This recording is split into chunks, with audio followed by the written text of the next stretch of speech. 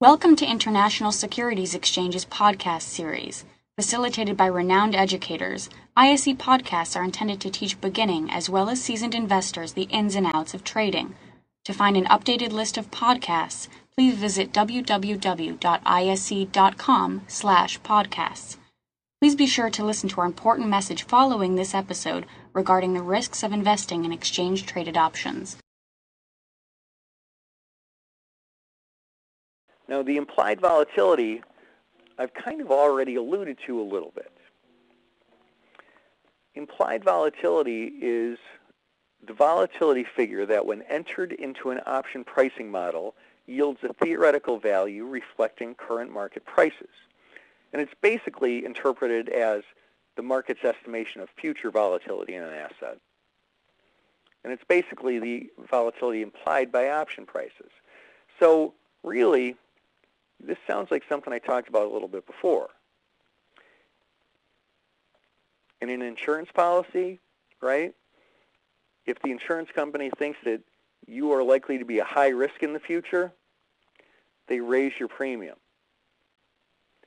The policy costs more. That's implied volatility.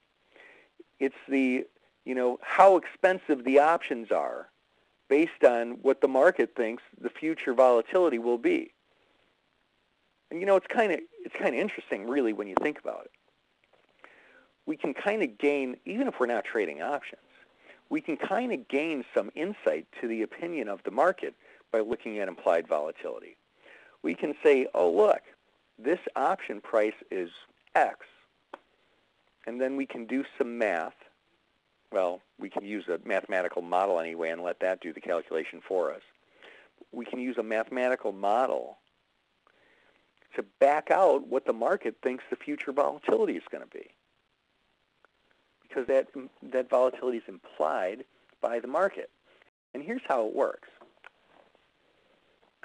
you guys have heard of the Black-Scholes model or perhaps the binomial pricing model. There's a good handful of them out there. Black-Scholes is the first, and arguably, well, arguably the first and arguably the most well-known. Here's how they work in a roundabout sort of way. There's five inputs that will go into your option pricing model. The current underlying currency price, the strike price of the option, interest rates, okay, um, when you're actually using a, an option pricing model for currencies, they're going to have you enter two interest rates. The time to expiration, and then volatility. Now, I know what the current underlying price of the currency is. I know what the strike price is. I pretty much know what the interest rates are. I know what the time to expiration is. But volatility, how do I figure that out? Now, I said that your broker kind of will supply you with this information, volatility information. But where's your broker get it? Your broker can calculate realized volatility. That's just a, you know, annualized standard deviation. Any college kid with a uh, HP calculator can do that. But the implied volatility backed out from the option prices, hmm, now that's a little different. Here's how it works. The output of the option pricing model, here, let's go back for a second. The output of the option pricing model shown here is the theoretical value, but guess what? You, you already know the value of the option. That's there in the option chain. So basically, look at this as kind of an algebra equation. It's not these five inputs equal the output. It's the first four inputs, currency price, strike price, interest rate, and time,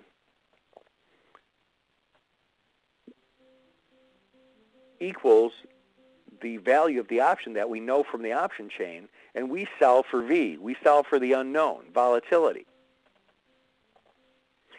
That's basically where your broker gets the information. they just run it through a model, and of course, you know, it's not like somebody sits there with a calculator. You know, they have models that calculate this for them, you know, real time, and it's very high-tech and efficient. But they take the value of options and they figure out what the expected volatility is. So now, okay, this this implied volatility changes, and that's really intuitive that it would change, right? Because it's based on market's expectation for future volatility. If all of a sudden, you know, there's a a country gets involved in a war or their banks are, you know, in trouble or something, the value of a currency can change greatly and its expectation for future volatility can change greatly. When implied, vol- when implied volatility rises, that is, look at it as the expectation for future volatility rises, so do option prices. And that makes sense, just like, you know, back to the old standby example, insurance. You know, you get in three car accidents in a week, and your insurance company is going to raise your rates because they think you're a higher risk. A, you know, a country that runs into some economic trouble and its currency declines greatly, their option prices are probably going to increase as well. When the expect, expectation for future volatility, i.e. implied volatility, falls, so do option prices. This is the implied volatility that's derived from the options market. It's forward-looking. So, okay, we've got two different, two very different definitions of volatility. Two very different perspectives of volatility. One is backwards looking that really has nothing to do with the options. It's just the calculation of what the currency prices have been over the past 30 days. And then we have one, implied volatility, that has everything to do with options that couldn't exist without options. It's a volatility figure that's backed out of option prices via the option pricing model that gives us some insight, by the way, as to what the market thinks future volatility will be. Thank you for listening to our podcast. To find more podcasts on options, stocks, alternative markets, and market data, please visit www.ise.com slash podcasts.